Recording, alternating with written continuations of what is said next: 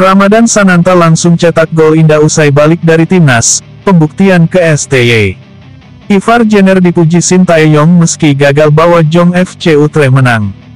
Media internasional ramal timnas Indonesia bakal lebih bagus lawan Vietnam, Justin Hubner dan Jordi amat disorot. Resmi, timnas Indonesia U20 dijadwalkan uji coba hadapi China, catat tanggalnya. Sebelum lanjut pembahasan berita hari ini alangkah kalian subscribe channel ini biar tidak ketinggalan berita selanjutnya.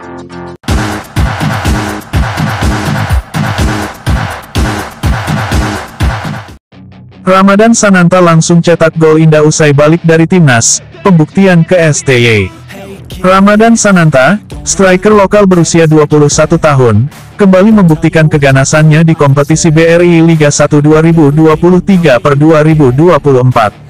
Setelah kembali dari timnas Indonesia di ajang Piala Asia 2023, Sananta tetap menjadi andalan Persis Solo. Pada pekan ke-26, dalam pertandingan melawan Bali United di Stadion Iwayan Dipta, Gianyar, Sananta mencetak gol indah.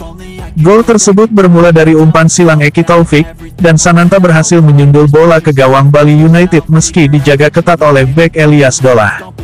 Meskipun Persis Solo kalah dengan skor 2-3, Sananta bersyukur karena berhasil mencetak gol setelah pulih dari cedera.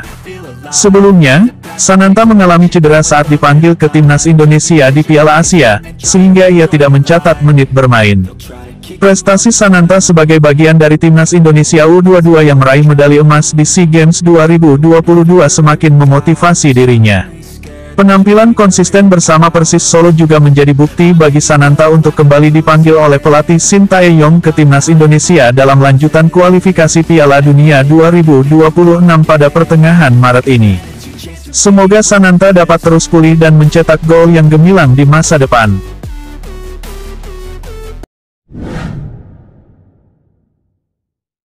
Ivar Jenner dipuji Shin Tae-yong meski gagal bawa Jong FC Utre menang. Pelatih tim nasional Timnas Indonesia, Shin Tae-yong memuji penampilan Ivar Jenner meski gagal membawa Jong FC Utre menang. Ivar diketahui bermain penuh dalam pertandingan Jong FC Utre versus NAC Breda. Jong FC Utre menelan kekalahan dari NAC Breda 1-3 di Radverle Stadion, Breda, Belanda pada Sabtu, tanggal 2 Maret tahun 2024. Tiga gol untuk NAC Breda dicatatkan oleh Boyd Lukasen, 42, Patriot Sigdiu, 59, dan Oldrup Jensen, 66. Sementara, Jong FC Utrecht membalaskan lewat satu gol Linden Edar, 64. Sin menonton langsung pertandingan tersebut. Pelatih asal Korea Selatan itu memang sedang berada di Belanda untuk memantau anak asuhnya yang bermain di sana. Sin pun melihat langsung penampilan Ivar yang bermain penuh dalam pertandingan tersebut. Pelatih berusia 53 tahun itu memuji permainan Ivar meskipun gagal membawa timnya menang. Setelah tiba di Belanda, istirahat sejenak dan berkendara selama 1 jam 40 menit, tulis Sin dalam unggahan di akun Instagram @sintayong7777, dikutip Sabtu tanggal 2 Maret tahun 2024. Menonton pertandingan Ivar, meskipun kami kalah, Ivar bermain dengan baik sepanjang pertandingan. Cuacanya sangat dingin, sambungnya. Ivar memang tampil baik dalam pertandingan tersebut. Menurut catatan SofaScore, gelandang timnas Indonesia itu mampu melepaskan 85% umpan akurat, dengan rincian 29 dari 34 percobaan serta 61 kali sentuhan bola. Ivar juga sempat melepaskan dua tembakan yang diblok, dan 5 intercept. Ivar sendiri kemungkinan besar akan menjadi pemain yang dibawa Shin Tae-yong dalam lanjutan grup F kualifikasi Piala Dunia 2026 zona Asia. Sebagai informasi, timnas Indonesia akan berhadapan dengan Vietnam dalam kualifikasi itu. Pertandingan pertama akan digelar di Stadion Utama Gelora Bung Karno SUGBK, Jakarta pada tanggal 21 Maret. Kemudian dilanjut pada laga kedua yang berlangsung di Maidin National Stadium, Hanoi pada tanggal 26 Maret tahun 2024 mendatang.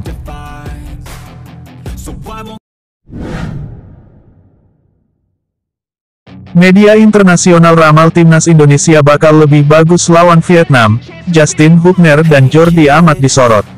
Laporan dari media Vietnam, Detau 247, telah mengungkapkan harapan terhadap komposisi pemain timnas Indonesia yang akan menghadapi Vietnam dalam babak lanjutan grup F kualifikasi Piala Dunia 2026 di kawasan Asia. Menurut Detau 247, diharapkan Indonesia akan memasang tim terbaiknya. Dalam dua pertemuan yang akan terjadi, pertama di Stadion Utama Gelora Bung Karno, Jakarta pada tanggal 21 Maret dan kedua di Mai di National Stadium, Hanoi pada tanggal 26 Maret kedua tim akan berjuang keras. Laga ini sangat penting bagi kedua belah pihak. Dengan ambisi memperbaiki peringkat kedua di grup F, timnas Vietnam berharap bisa mengatasi tantangan. Di sisi lain, timnas Indonesia berusaha keras untuk mendapatkan kemenangan pertama mereka setelah mengalami kekalahan dari Irak dengan skor 1-5 dan seri 1-1 melawan Filipina. Mengingat pentingnya pertandingan ini, kedua tim diprediksi akan mengeluarkan skuad terkuatnya. Detau 247 berpendapat bahwa timnas Indonesia akan bermain lebih tangguh dari pertandingan sebelumnya. Menurut Detau 247 yang dilansir dari situsnya pada Sabtu tanggal 2 Maret tahun 2024, Shin Taeyong, pelatih timnas Indonesia, diperkirakan akan menampilkan pemain-pemain dengan kinerja terbaik untuk menghadapi Vietnam dalam pertandingan kualifikasi mendatang. Prediksi dari media Vietnam tersebut menunjukkan adanya perubahan dalam susunan pemain timnas Indonesia, termasuk kiper, barisan pertahanan, dan gelandang. Dikatakan bahwa timnas Indonesia akan menerapkan formasi 3-4-3. Untuk pertahanan, nama-nama baru seperti Martin Paes sebagai kiper, dan J.I.Z. sebagai pemain bertahan, diharapkan sudah resmi bergabung menyusul proses naturalisasi sebelum pertandingan kualifikasi berikutnya.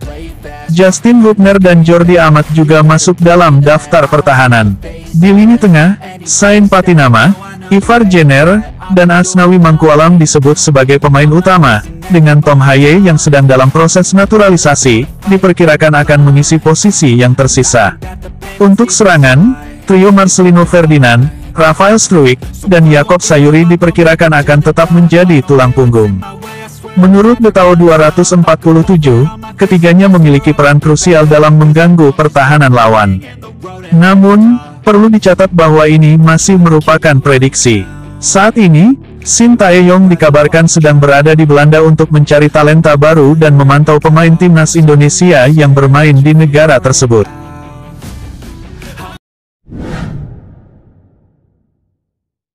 Resmi, Timnas Indonesia U20 dijadwalkan uji coba hadapi China, catat tanggalnya.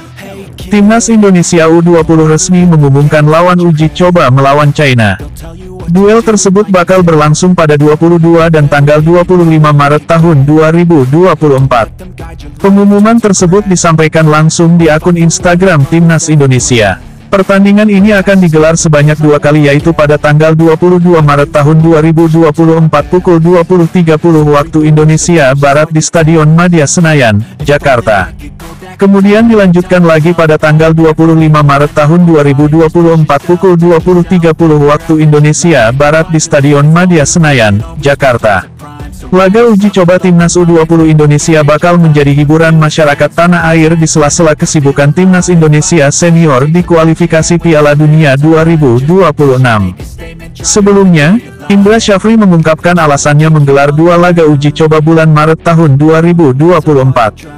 Laga uji coba tersebut bakal menjadi bagian dari persiapan timnas U20 Indonesia pada Piala AFF U19 2024. Piala AFF U19 2024 akan digelar pada Juli tahun 2024. Indonesia menjadi tuan rumah turnamen kelompok umur antar negara-negara Asia Tenggara tersebut. Pertandingan tersebut juga jadi bagian dari pemusatan latihan timnas U20 Indonesia bulan Maret tahun 2024. Indra Syafri bakal memanggil para pemain terbaik pada pemusatan latihan tahap pertama dan kedua. Yang kedua, TC akan kami lanjutkan nanti di bulan Maret dan kami sudah merancang akan menjalani dua kali uji coba, ujar Indra Syafri. Pemain-pemain yang kami panggil adalah mereka yang kami nilai terbaik dari TC tahap 1 dan tahap 2 nanti, lanjutnya.